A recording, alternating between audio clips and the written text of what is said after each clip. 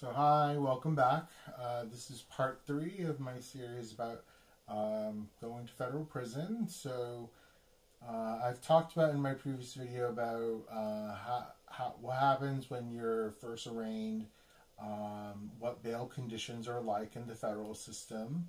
Uh, so, if you are not, if you are released on recognizance back into the community, as in you're going back home, um, you're you're basically going to be doing a couple of things. The first thing is you're going to be working with your probation officer to get a good a handle over what your schedule will be. So whatever it is, whether you're still working and you're doing that, um, all the daily daily life things that you need to put a schedule out for, like grocery shopping. You know, if you have children, taking them to school.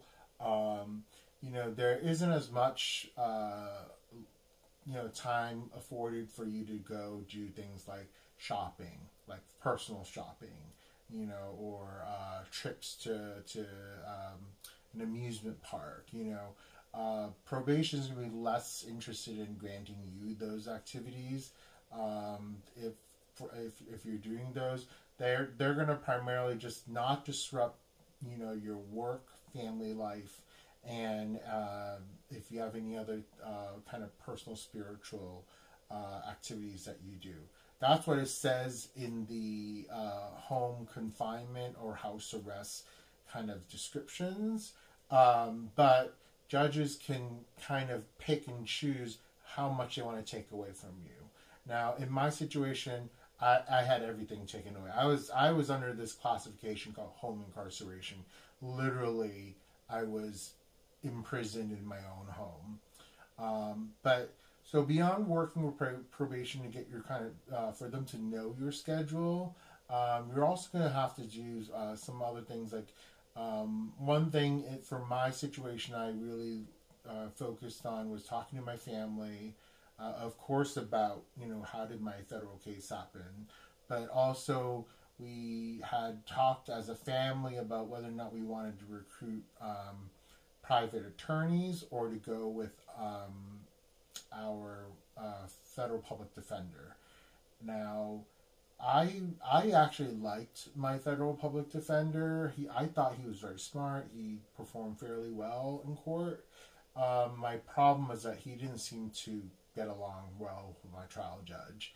Uh, they were pretty much yelling and screaming at each other during during court. Uh, it wasn't wasn't the greatest. And uh, in having a conversation with my family, I, I've told them that I think having a female attorney may be more advantageous. Um, whether it's just like, you know, the psychology of it, maybe the judge will treat a female attorney better or not. but um, so we so we talked about that, how much it would cost. So we had basically I, I, I went around asking people in the community who are some uh, good criminal defense attorneys, and we we shopped around and we we came out with a person who we thought could best represent uh, me as a client, and of course, in the end, we chose uh, two female attorneys uh, from a small practice, uh, but uh, a specialized practice that I thought could best represent us and. Um, the prosecutor in my case actually was a woman, so I, I thought that having a woman on our side and, and the woman on the other side, I, I think at least we could come off even with this particular judge. Um, so you're going to be, so like I said, probation, searching for attorney if you can. And then the next thing, uh, it, it's not really with just fe- uh, federal cases, but with any cases. If you are kind of in this legal limbo, every attorney will tell you you're going to have to do some uh, what my therapist calls pro-social activities that can show a judge or a jury that you are not just like sitting around with nothing to do and you're essentially planning your next crime, right? You really can show them that, you know, if, say, for example, you have a drug addiction problem, and that is the reason why you got into uh, selling drugs, right? That's a very common situation in for people in federal cases. Then you're probably going to have to get yourself into treatment, whether it's actual detox, uh, getting into recovery groups, so 12 step recovery group, NA, um, or going individually and getting into a mental health therapy session, you know, with a psychologist or uh, uh, clinical social worker, whatever it takes. You need to show the judge um, or jury how you have best used your time while on pretrial probation to show that uh, if there are any type of objectionable behavior, you know, that contributed to your offenses, that those are minimized as a result of you being voluntarily in treatment. This is absolutely the most important thing uh, that you can do as a defendant. You, it does not require your lawyer to recommend you to do it.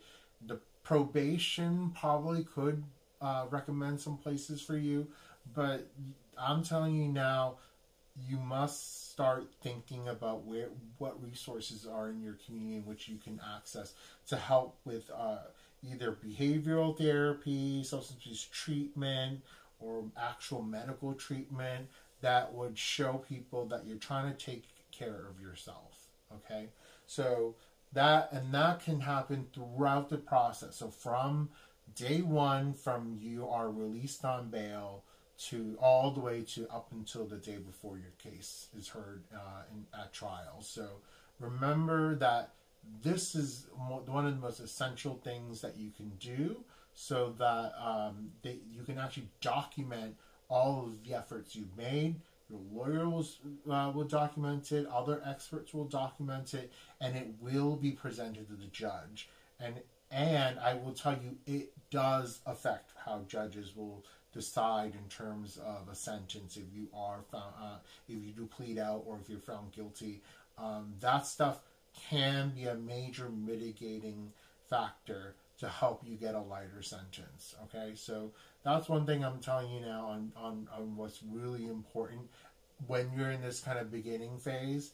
Um, in my next video, I'll talk about something a little bit more specialized uh, something that you can do. It's called a psychological evaluation. Uh, it's a little bit more in depth than some of the stuff I've talked about today. Uh, so I'm going to save that for the next video. So come back for part four. So if you want to hear about what psychological evaluations are and how they're used in federal cases.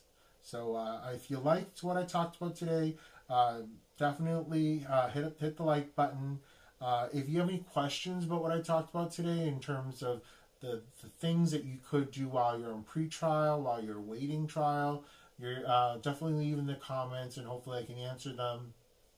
Uh, if you are, are, new to the channel, please subscribe. Subscribing definitely helps my channel, but also click the notifications button so you know when I am going to post any new videos for you guys to watch. Uh, there, I have tons of other series that are going on right now on different topics, so hopefully you'll watch uh, this new video and then check some of my older videos out. Uh, but they generally will all kind of talk about this uh, my my own personal experiences of going through the criminal justice system and how uh, you know I would like to teach you how to avoid some of the the missteps that I have made. So I'll talk to you guys soon. Bye.